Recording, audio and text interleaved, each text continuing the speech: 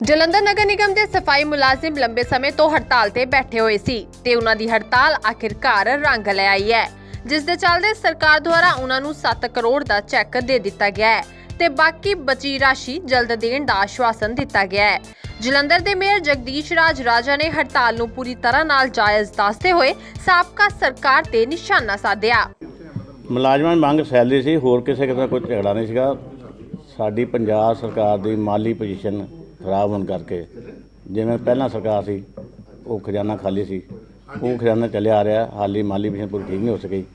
ਬਾਕੀ ਮੁਲਾਜ਼ਮਾਂ ਦੀ ਜਿਹੜੀ ਮੰਗ ਸੀ, ਬਿਲਕੁਲ ਜਾਇਜ਼ ਮੰਗ ਸੀ, ਕਿਉਂਕਿ ਇਹ ਕਲਾਸ 4 ਦੇ ਗਰੀਬ ਬੰਦੇ ਹੁੰਦੇ ਨੇ, ਇਹਨਾਂ ਨੂੰ ਦਵਾਈ ਦਾਰੂ ਦੀ ਲੋੜ ਹੁੰਦੀ ਹੈ ਫੀਸਾਂ ਦੀ ਲੋੜ ਹੁੰਦੀ ਹੈ ਹੋਰ ਰੋਜ਼ਮਰਰਾ ਚੀਜ਼ਾਂ ਲੋੜ ਹੁੰਦੀ, ਘਰ ਆਟਾ, ਰਾਸ਼ਨ ਲੋੜ ਹੁੰਦੀ ਹੈ ਤੇ ਇਹਨਾਂ ਦਾ ਗੁਜ਼ਾਰਾ ਚੱਲਣਾ ਬਹੁਤ ਮੁਸ਼ਕਲ ਹੈ, ਕਿਉਂਕਿ ਇਹ ਸਿਰਫ ਤੇ ਸਿਰਫ ਤਨਖਾਹ ਤੇ ਨਿਰਭਰ ਕਰਦੇ ਨੇ, ਤੇ ਇਹਨਾਂ ਦੀ ਮੰਗ ਨੂੰ ਜਾਇਜ਼ ਸੀ।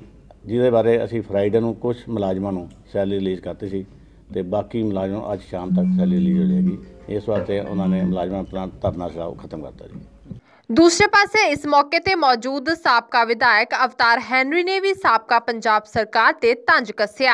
ਦੱਸ ਦਈਏ ਕਿ ਜਦੋਂ ਉਹਨਾਂ ਕੋਲੋਂ ਬਾਬਾ ਹੈਨਰੀ ਦੇ ਦੁਰਵਿਵਹਾਰ ਬਾਰੇ ਪ੍ਰਸ਼ਨ ਕੀਤਾ ਗਿਆ, ਤਾਂ ਉਹਨਾਂ ਇਹ ਕਹਿ ਕੇ ਗੱਲ ਟਾਲ ਦਿੱਤੀ ਕਿ ਇਸ ਸਮਾਜ ਨਾਲ ਉਹਨਾਂ ਦਾ ਪਰਿਵਾਰ ਵਾਲਾ ਰਿਸ਼ਤਾ ਹੈ ਤੇ ਰਿਸ਼ਤਿਆਂ 'ਚ ਨੋਕ ਝੋਕ ਚੱਲਦੀ ਰਹਿੰਦੀ ਹੈ। ਯੋਗ ਜਿਸ ਵਿੱਚ ਪੁਰਾਣੀ ਸਰਕਾਰ ਨੇ ਜੋ ਵੀ ਬੋਝੇ ਆ ਨਾ, ਉਹ ਸਾਨੂੰ ਇਸ ਵੱਢਣੇ ਪਏ।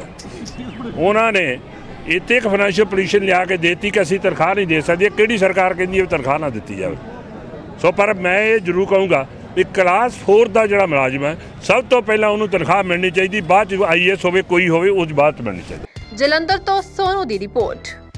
ਨਵੀਆਂ ਅਤੇ ਤਾਜ਼ਾ ਜਾਣਕਾਰੀਆਂ ਹਾਸਲ ਕਰਨ ਲਈ ਸਬਸਕ੍ਰਾਈਬ ਕਰੋ ਸਾਡਾ YouTube ਚੈਨਲ ਅਤੇ ਨਾਲ ਹੀ ਹਰ ਪਲ ਦੀ ਖਬਰ ਜਾਣਨ ਲਈ ਲਾਈਕ ਕਰੋ ਸਾਡਾ Facebook ਪੇਜ